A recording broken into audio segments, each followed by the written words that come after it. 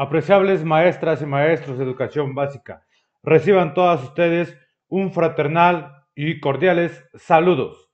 Somos sus amigos de CODEF, Asociación Civil sin fines de lucro, y el día de hoy compartiremos con ustedes la presentación de la guía del trabajo sobre el tema número 3 en el Consejo Técnico Escolar Extraordinario. Este sirve para educación preescolar, primaria y secundaria. Bien, daremos parte solamente de forma de retroalimentación, lo que ya hemos visto del encuadre de este Consejo Técnico Escolar. El propósito general de este taller extraordinario es que los colectivos docentes organicen el trabajo pedagógico para brindar acompañamiento al aprendizaje de sus alumnos en casa. Para ello, la Secretaría de Educación Pública, a través de la Subsecretaría de Educación Básica, pone a disposición de los colectivos docentes la presente guía de trabajo. Así es que solo de manera general, las recomendaciones que nos hacen y que se deben de realizar durante el Consejo Técnico Escolar. Al finalizar, se realizará una recapitulación de todos los acuerdos registrados. Muy bien, esto vamos a dar inicio el día de hoy a el tema Estrategia de enseñanza y aprendizaje a distancia, parte 2. Muy bien, algunas de las reflexiones que debemos de considerar durante el tema número 3 son las siguientes. Es importante eh, analizar lo que es Aprende en Casa 2, así como también garantizar el derecho de las niñas, niños, adolescentes y jóvenes a recibir una educación de calidad y de excelencia, así también como reconsiderar los recursos accesibles para poder llevar a cabo este trabajo a distancia. Bien, ¿cuál es el propósito de este tema número 3? Que el colectivo docente reflexione sobre cómo aprende en casa 2 es el eje para organizar el aprendizaje a distancia, así como también reflexione sobre la necesidad de articular el programa de Aprende en Casa los libros de texto gratuitos y las actividades propias en la organización de la enseñanza y el aprendizaje a distancia. Es importante hacer el comentario siguiente que ya está circulando en las redes sociales sobre los cuadernillos de aprendizaje a nivel federal y estatal. Así es que debemos de considerar la organización propia de cada maestro, de cada maestra que puede realizar y que tiene que correlacionar para poder compartir a distancia. Es importante también en el siguiente punto diseñar un esquema que articule los principales recursos a utilizar en la enseñanza a distancia. Muy bien. Los materiales a utilizar son los siguientes. El documento de orientaciones para apoyar el estudio en casa de niñas, niños y adolescentes en educación preescolar, primaria y secundaria. También el plan y programas de estudio vigentes y los libros de texto gratuitos del grado o asignatura que impartirá en el ciclo 2020-2021. Recuerden que ya tenemos los links, así es que es importante irlos descargando y mantenerlos en carpetas archivadas para que sean de fácil utilización de cada uno de nosotros. Como producto de esta sesión, de este tema número 3, es el esquema de articulación de los principales recursos a utilizar en la enseñanza a distancia, programa Aprende en Casa 2, los libros de texto gratuitos y las actividades propias. Como actividades sugeridas en la número 1, de forma individual antes de iniciar la sesión. ¿Qué es lo que se requiere? Revisar las características de Aprende en Casa 2. Para ello, es importante leer el apartado número 1, Estrategia de regreso a clases. Aprende en Casa 2. Del documento de orientaciones para apoyar el estudio en casa de niñas, niños y adolescentes en educación preescolar, primaria y secundaria. Así es que vamos a darle lectura y recordar en todo momento que los recursos de Aprenden en Casa 2 estarán disponibles después de las tres primeras semanas de clase, al concluir el reforzamiento de los aprendizajes. Aquí les dejamos el link directamente para que se redireccionen a Aprende en Casa y los videos en YouTube. Así es que después de analizar es importante, recuerden de todo momento tomar notas de, lo, de las palabras clave que ustedes vayan identificando después de la lectura y compartir en plenaria virtual. Bien, como actividad número dos, reflexiones sobre lo siguiente a partir de la lectura. Dice la pregunta, ¿qué mejoras encuentra con relación a la primera temporada de Aprende en Casa? ¿Qué elementos tendrán los programas de Aprende en Casa 2 de nivel educativo en el que trabaja? ¿Qué posibilidades brinda Aprende en Casa 2 para el acompañamiento que los docentes realizarán a sus estudiantes?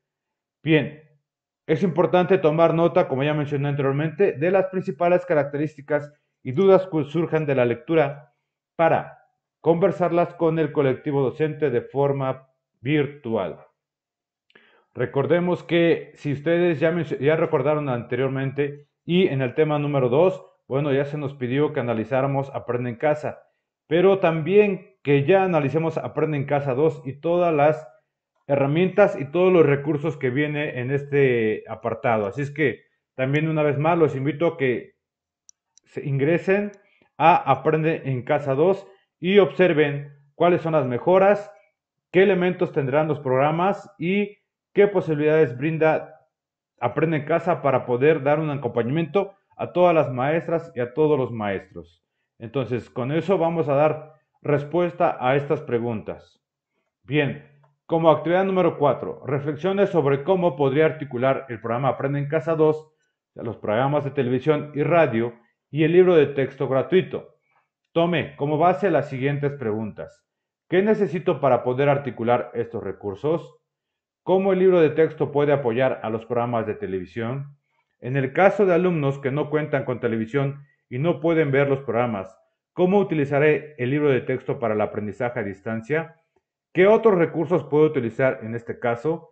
Bueno, pues entonces, con base a esto, vamos a realizar todos la aportación y a darle respuesta a estas preguntas sobre qué es lo que necesitamos eh, articular con estos recursos con base a lo que viene en el programa de Aprender en Casa 2 y los programas de televisión y de radio. Así como también es importante cómo este libro puede apoyarnos a los programas de, de televisión. Consideremos algo importante. Se supone que tienen que venir todos basados en los planes y programas de estudio.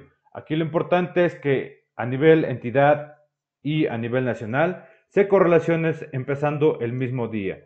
Si vamos a iniciar el 24 de agosto y en Puebla estamos con las actividades que nos están comentando, entonces puede que exista alguna disparidad en fechas, pero es importante que lo tomemos en cuenta para poder dar respuesta a estas preguntas.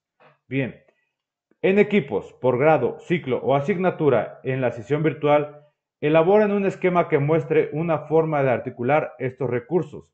El siguiente ejemplo puede servir de apoyo. Aquí están los programas de televisión. Dice, conocer la programación de televisión con anticipación. En ella se define el aprendizaje esperado a abordar y su alcance. A partir de ello, pensar en las actividades a proponer. Entonces, hay que correlacionar qué actividades propias que ya tenemos vamos a poder relacionarlas con el aprendizaje esperado considerando también los ambientes de aprendizaje, los contenidos y los materiales a utilizar como sugerencia. Dice 2. Libros de texto gratuito. Revisar las lecciones relacionadas con el aprendizaje esperado y determinar, cuando sea necesario, las actividades que los alumnos pueden trabajar para complementar el estudio del contenido abordado en el programa. Muchos nos han mencionado que somos eje también importante, agentes de cambio para poder llevar a cabo estas actividades. Solo la televisión y directamente transmitidas hacia los niños, pues consideramos y nos, han, los, nos los han hecho saber a nivel nacional que no sería posible llevarse a cabo de esa forma. En el aspecto número 3 dice, actividades adicionales. Proponer actividades adicionales para brindar más ejemplos a los alumnos o para profundizar en aspectos que no fueron abordados en los programas de televisión y que usted considera importantes para el logro de los aprendizajes esperados. Así es que vamos a realizar, considero desde aquí, desde CODEF, una retroalimentación con esas actividades adicionales para poder reforzar los aprendizajes que los niños aún no los han asimilado. ¿Por qué? Porque existen diferentes estilos de aprendizaje y diferentes ritmos de aprendizaje de niñas, niños, adolescentes, así como los canales de percepción que cada ser humano tiene. En el punto 4 dice, consideraciones generales. Tomar en cuenta el tiempo de trabajo que implica ver el programa de televisión y las actividades de LTG que proponga para que no sea excesivo. El trabajo que se proponga a los alumnos deberá ser revisado. Si no se puede, a la distancia será una vez que se regrese a clases presenciales. Dar seguimiento a las dudas o dificultades que tengan los alumnos. Creo que ese aspecto está claro.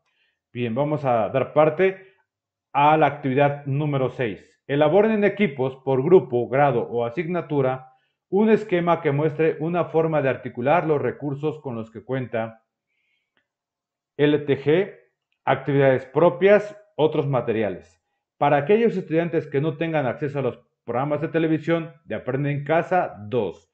Así es que vamos a elaborar un esquema, cómo podemos articular estas actividades con las de Aprende en Casa 2.